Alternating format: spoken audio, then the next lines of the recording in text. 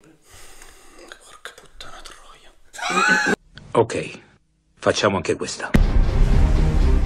Tom Ryder, la più grande star di film d'azione del pianeta, è scomparso. Devi riportarlo qui o il film di Jodie è morto. Perché io? Tu sei uno stuntman, non ti noterà nessuno, è il tuo lavoro. Ti sei offeso? Beh, un po' sì. La trama? Los Angeles. Pericolo è il suo secondo nome. Il primo è Sivers, Colt Sivers, ed è uno stuntman innamorato di Jody Moreno, assistente alla regia che sta per fare il grande salto e girare un film tutto suo.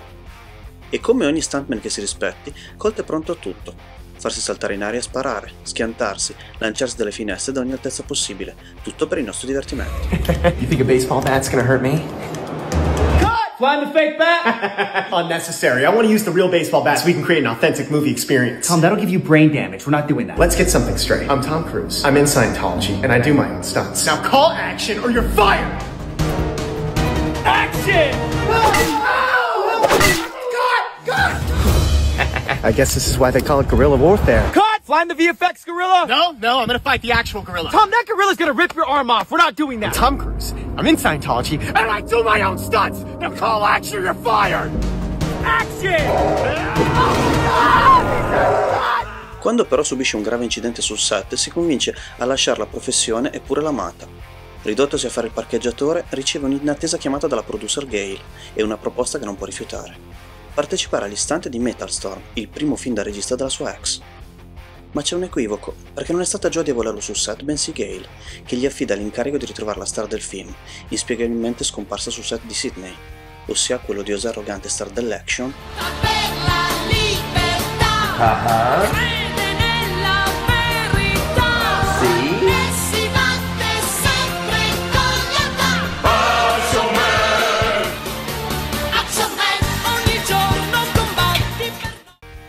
amatissima da Hollywood che risponde a nome di Tom Ryder, di cui Colt è stato per molti anni la controfigura. Ora Colt si trova davanti alla prova più difficile della sua vita, volare nella terra dei canguri, Dove è decisamente un pesce fuori d'acqua? ritrovare lo stronzone protagonista, smascherare una cospirazione e cercare di riconquistare l'amore della sua vita, pur continuando a svolgere quotidianamente il suo lavoro. Ma stavolta sarà pronto a uscire dall'ombra per diventare l'eroe della storia?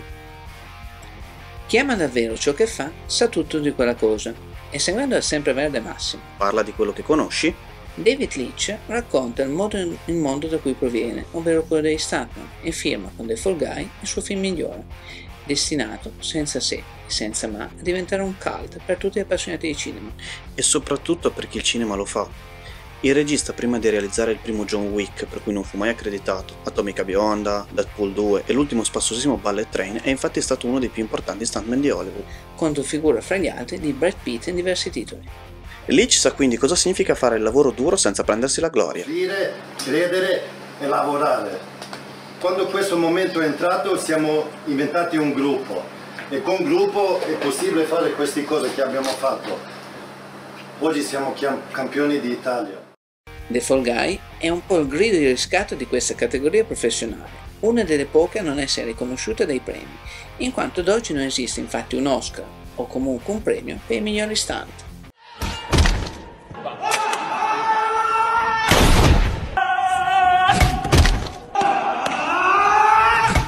Certo, nel ruolo dei due protagonisti abbiamo due divi come Ryan Gosling ed Emily Blunt, che non passano certamente inosservati, ma il concetto è comunque valido. Anche perché immaginare una coppia diversa per questo film è impossibile, insieme sono strepitosi. Entrambi parte di questa rottura di balle terrificante chiamato Barbenheimer!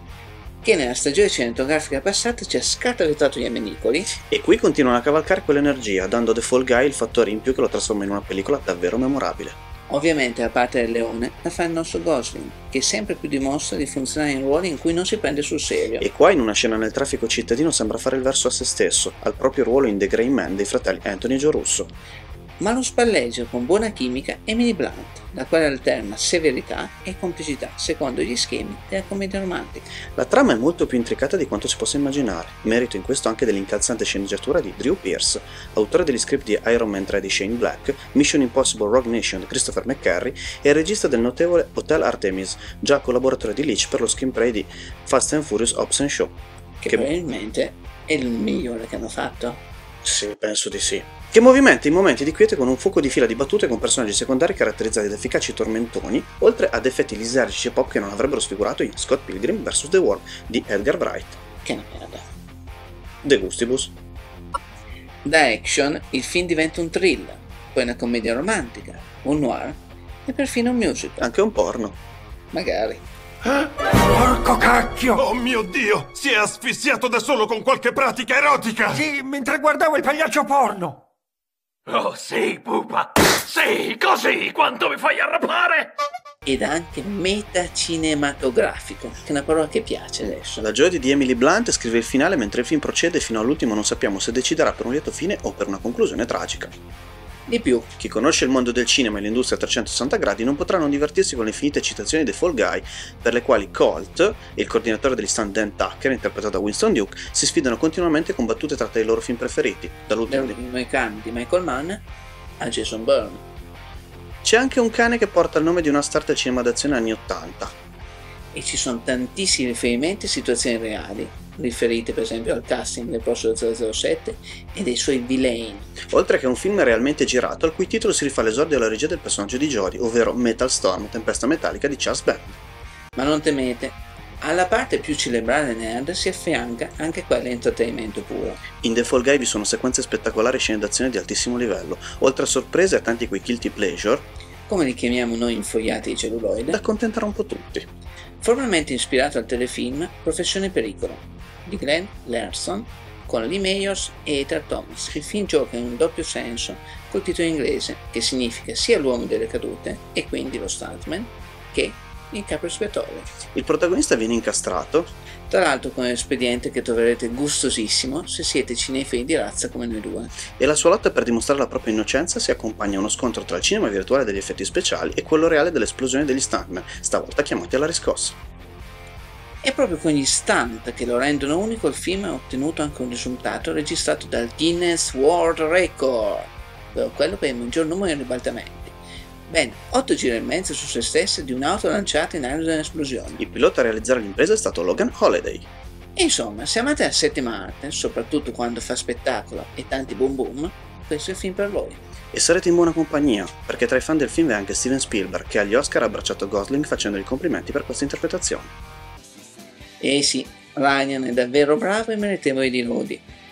Quando pensavamo che non potesse essere più autoironico e divertente di quanto sia stato come Ken in Barbie di Greta Gerwig, Ecco che arriva Colt, gemello più divertente e divertito dei suoi duri, forti e silenziosi protagonisti senza nome di Drive di Nicholas Winding Refn, film che lo consacrò definitivamente a Cannes, e del Pretty Luke Clanton di Come un tuono di Derek Chan France, dai quali sembra essersi discostato dopo la sua dolente performance dell'agente KD6 3.7 in Blade Runner 2049 di Denis Villeneuve, non era così malvagia. No, nel senso che si è, si è fatto un pochettino meno, meno serio di allora, Ah. quello intendo dire, per legarsi più che mai ai suoi reverenti Jacob Palmer di Crazy Stupid Love di Glenn Ficarra e John Reca e Holland Marchi dei Nice Guys di Shane Black di cui purtroppo non vedremo mai il sequel. Grazie mille, figlio di puttana, testa di cazzo, fottuto e rompipalle, stronzo di merda. John, John Spartan, lei viene multato di 5 titoli per ripetute Sono meglio delle con- conchigliette. Ci vediamo prossimamente. Perché mi demonisci i miei sogni? L'ha detto lui poco fa, ha detto che avevano fa- dovuto decidere se fare il sequel di The Nice Guys o di The Angry Birds, hanno preferito gli uccellini incazzati. È impazzito! Uccelli di merda!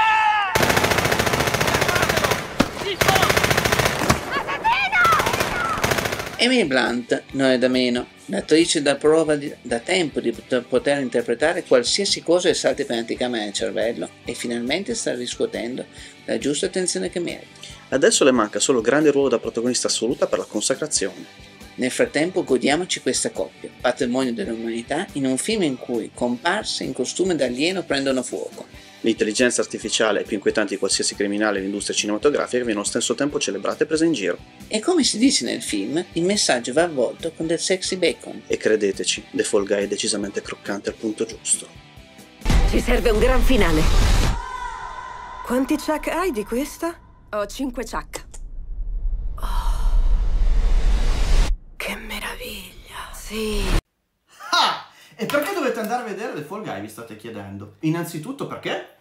Lui è ancora eccitato adesso aver- dopo aver visto il film. È una commedia strepitosa, che vi piacciono, che vi piace al cinema in generale, non Che vi importa. piaccia Gosling. Esatto, Emily Blunt, eh, la regia di David Leitch, che è quello di John Wick, Atomica Beyond, non ha importanza. La colonna sonora è strepitosa, ci sono gli ACDC, um, fammi- i Darkness, John Bon Jovi, i Journey, piuttosto che i Kiss. Maneskin? No, non ci sono, te l'ho già detto, me l'hai già chiesto sei volte, non ci sono i Maneskin. Ma al di là di quello, dovete andarlo a vedere, perché è veramente un signor capolavoro. È divertente. Ti lascia anche un messaggino. Il finale sì, assolutamente. E quindi... Cazzo ci fate ancora qui? Andate, Andate, no? Ciao.